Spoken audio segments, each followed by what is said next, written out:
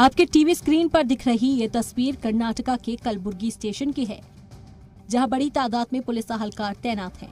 दरअसल स्टेशन की इमारत को हरे रंग से रंगने पर हंगामा शुरू हो गया। इमारत के रंग से नाराज़ शिद्दत पसंद तंजीम के कारकुनान ने रेलवे स्टेशन के सामने एहतजाज शुरू कर दिया। एहतजाज कर रहे लोगों का इल्ज़ाम है कि रेलवे स्टेशन की इमारत को हरे रंग से करने पर रेलवे स्टेशन की इमारत किसी मजहबी मकामात की तरह नज़र आ रही है। इसीलिए स्टेशन का रंग बदला जाए। रेलवे स्टेशन के बाहर हंगामे की खबर लगते ही बड़ी तादाद में पुलिस के साथ रेलवे स्टेशन के आला अफसरान भी मौके पर पहुँचे। और आनन फानन में इस पर दूसरे रंग की रंगाई शुरू करनी पड़ी। एहतजाजियों का कहना है कि अगर 15 दिन के भीतर एहतजाजियों का कहना है कि अगर 15 दिन के अंदर रेलवे स्टेशन के रंग को नहीं बदला गया तो उनके कारकुनान, इमारत के रंग को खुद ही बदल देंगे। ऑल ओवर इंडिया में आप कहाँ पे भी देखो, कोई भी रेलवे स्टेशन का हरा रंग नहीं है। तो गुलबर्गा रेलवे स्टेशन को आप हरा रंग मार के ये क्या साबित करना चाहते हो?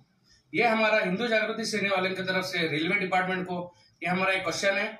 हम लोग इसका स्ट्रांगली कंडम करते हैं और आपको रेलवे डिपार्टमेंट वालों को पंद्रह दिन के हम लोग टाइम दे रहे हैं। पंद्रह दिन के अंदर अगर ये कलर हटवा कर, दूसरा कलर आपने अगर नहीं मारा तो हम भी, हम खुद उधर ठहर के हम लोग हमारा केसरी भगवा रंग रेलवे स्टेशन को लगाएँगे।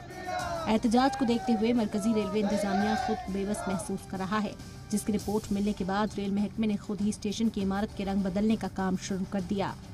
Bureau report, Zee media.